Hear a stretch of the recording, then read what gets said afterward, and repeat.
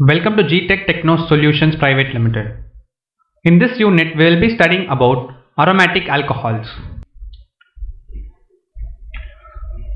Benzyl alcohol. Aromatic compounds containing hydroxyl group in the side chain are called aromatic alcohols.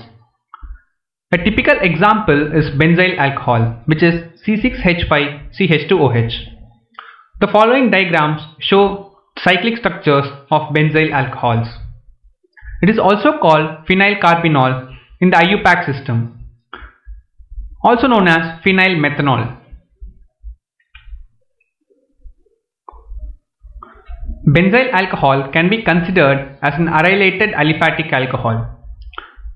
Benzyl alcohol occurs in the nature either in the free form or in the form of esters in jasmine oil. It is isomeric with cresols and anisole.